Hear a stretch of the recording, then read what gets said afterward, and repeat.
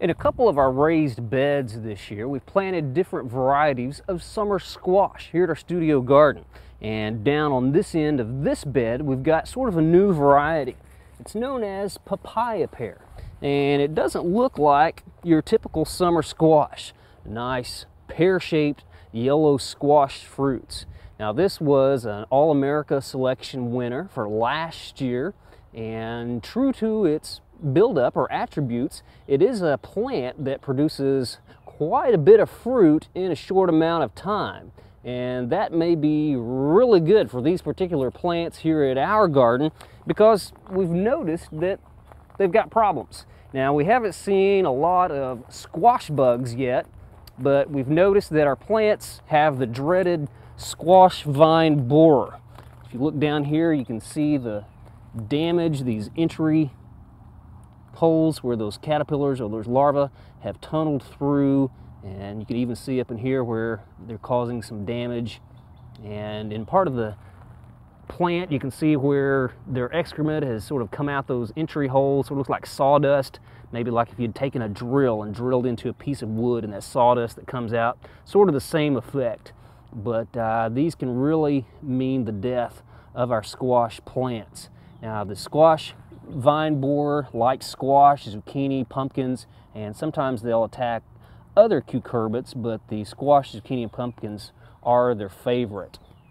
The squash vine borer is a moth that is sort of a clear-winged moth, sort of a grayish color with some red and orange markings on its back and lower abdomen but the larva or the caterpillar is what does the damage. Those mature larvae will overwinter in the soil about an inch or two deep. They'll spin a cocoon down there. In the late spring, they will emerge as an adult moth. They will fly around. The females will lay their eggs on the stem of our squash plant and as soon as those eggs hatch those larvae begin tunneling into the stem and they can just eat and tunnel their way throughout the entire plant and pretty much mean the death of the plant. Well, they spend about four to six weeks up inside the stem. Then they come out and they burrow into the ground where they will again pupate and emerge as a, an adult and start the whole process over. So we have two generations per year. And when those moths lay their eggs and those larvae come out and go into the ground, that is the stage where they overwinter.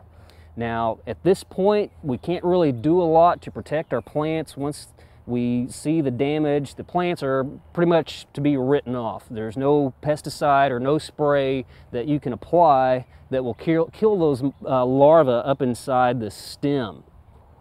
If you want to prevent the squash vine borers from getting to your plants as soon as you see the squash flowers. You see these bright yellow-orange flowers of the squash plant. As soon as those start appearing on your plants, start spraying them with something like malathion and spray as often as the label will allow. The flowers actually attract the moths to the plants and they will come in and lay their eggs. So as soon as you see those flowers, begin your spray program and hopefully you won't have squash vine borers. Now some of the cultural things you can do to prevent squash vine borers would be to discard all of the infected plants.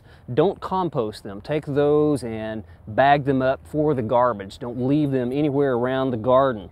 Also, tilling your garden in the fall after you, you have removed all of the plants, you can maybe destroy some of those larvae that are down in the soil. And another tilling in the spring just to be sure. And also rotate your crops. Don't follow cucurbits with cucurbits. Now, one other last grasp thing you can do to try to save your plants and make them live a little bit longer is to try to gouge out the squash vine borer. And Sometimes this is successful, but you can take a razor blade or a sharp knife and make a slit lengthwise in the stem.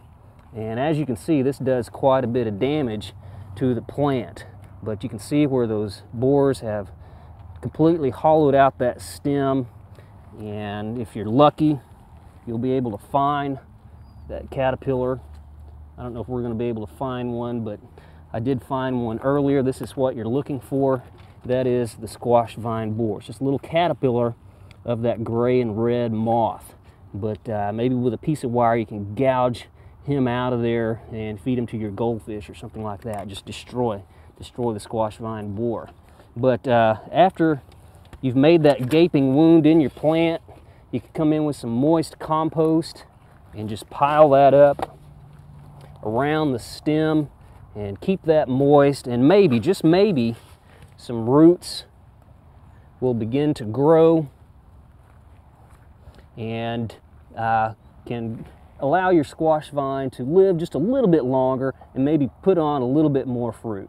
So remember, as soon as those flowers appear, start spraying your plants, get that spray all the way down to the base, cover those stems, keep your garden clean, remove those infected plants, rotate your crops, and make sure you till the soil, try to destroy those in the ground.